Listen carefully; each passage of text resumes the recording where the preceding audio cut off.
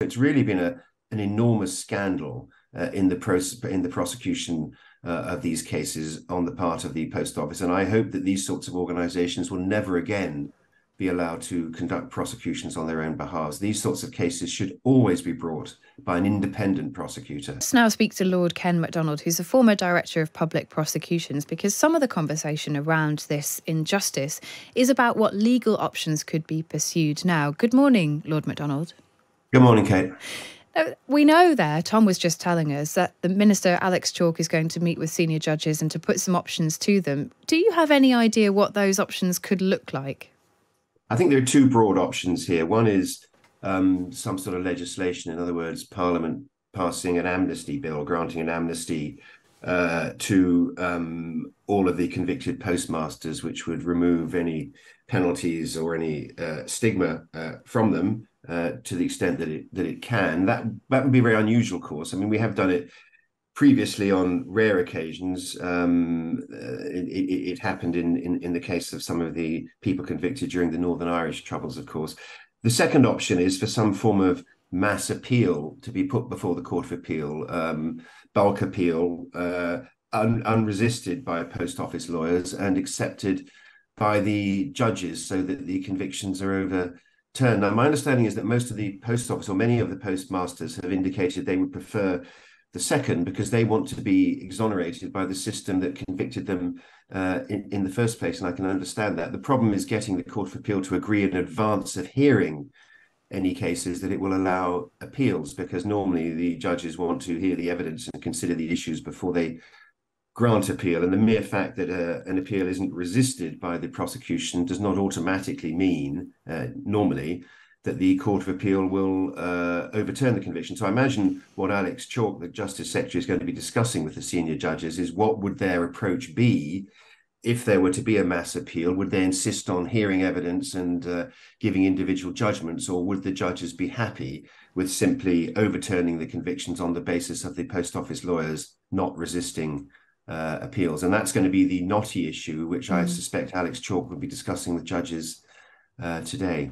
And just for clarity on that first option, you said it's an unusual move for Parliament to grant a pardon like this, although it has been done before. Why is it yeah. unusual?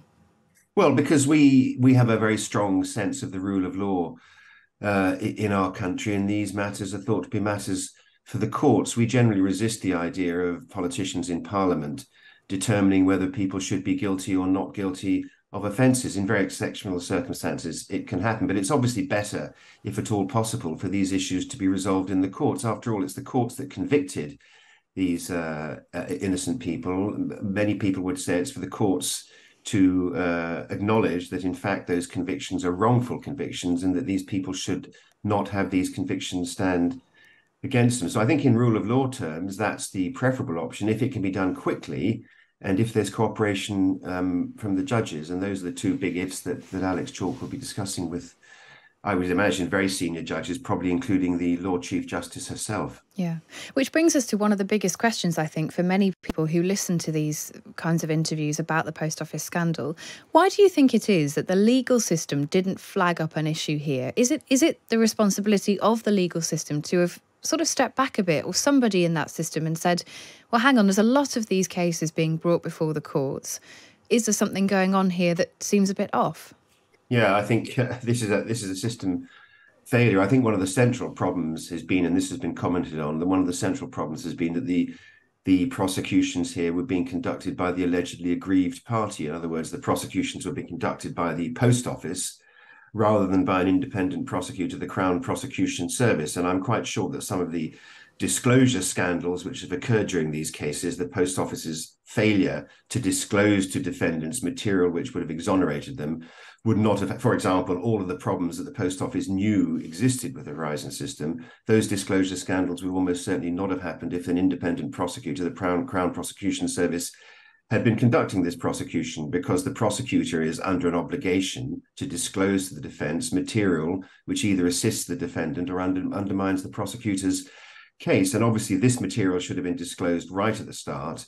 And if it had been, these cases would have collapsed years and years ago. So it's really been a, an enormous scandal uh, in the process in the prosecution uh, of these cases on the part of the post office. And I hope that these sorts of organizations will never again be allowed to conduct prosecutions on their own behalf. These sorts of cases should always be brought by an independent prosecutor, uh, a prosecutor independent of the alleged aggrieved party, because that minimizes the risk of these sorts of miscarriages of justice. But it's been an, an absolutely appalling story. I mean, it's just clearly, as many people have said, the worst mass miscarriage of justice in modern British history, and, and nobody comes out of it uh, particularly well, apart, apart from the courts, who, when they've been seized of these cases, have tended to come to the right conclusion, uh, mm. as we've seen in recent years. But given what you've said there, and I, I, take it as a given that you don't think private companies ought to bring about their own prosecutions, would I be right in thinking that? Yeah, yeah. I don't think I. I, I mean, there, there is a place for private prosecutions. Um, sometimes the state doesn't pick up cases that should be prosecuted, and individuals bring cases that, for example, the CPS refuses to bring, and sometimes those those individuals win their private prosecutions. But I don't think big organizations with their own corporate culture and sense of loyalty and so on should be allowed to prosecute cases on their own behalf. I think that's a recipe for disaster, and the proof of the pudding is in the eating here because we've seen the disaster. Yeah. Do you think at the time the director of public prosecutions should have stepped in when this was going on and said, "Well, hang on a minute, it's not right that the post office is prosecuting these people in the courts. This is something that really does need to be taken over by the CPS.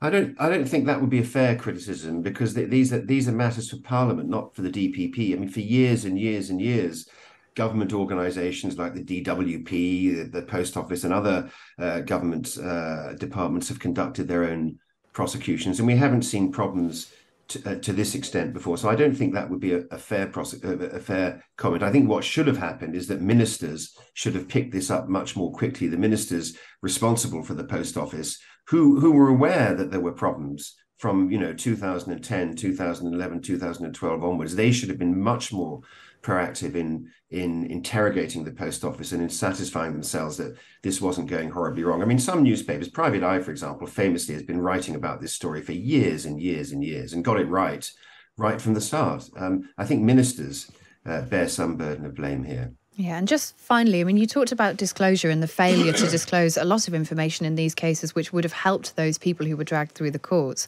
There's also been uh, pressure, it's been said, to plead guilty particularly put on some of those people who wouldn't have been able to navigate the court system like the post office could.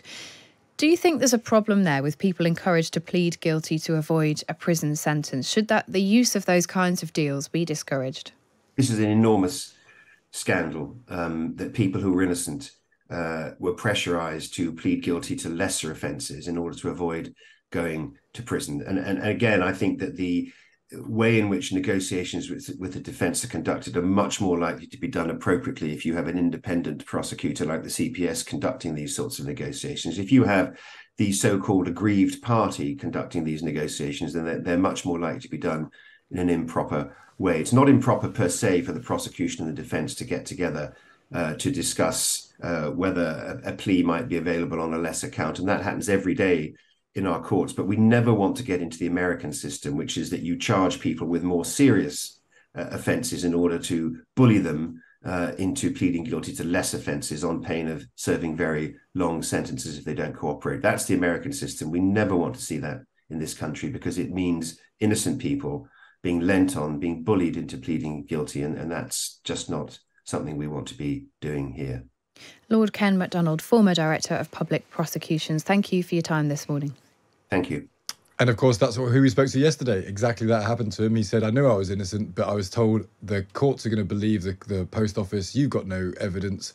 Either accept you're guilty and don't go to prison or roll the dice and end up in prison. Yeah. And, and I think that disgusts quite rightly lots of people. And, and Ken Macdonald there calling that an enormous scandal. It feels like the central uh, reform from this will be ending private prosecutions by companies because then at least you'll have the state involved. Now, the state is not perfect, as we know from all sorts of other scandals, but the state has systems in place to at least limit the power of abuse. You have yeah. to imagine. I'm interested though that that Lord Macdonald there said when I asked him should the DPP have stepped in, and of course we're talking about Sir Keir Starmer. Um, uh, should you know should he have stepped in and and been involved? He is a former director of public prosecutions too, and you know Lord Macdonald saying no that that wouldn't be part of this conversation. It wouldn't be a fair criticism. It should have been ministers who who should have been more live to yeah. this and should have been more careful about what was going on.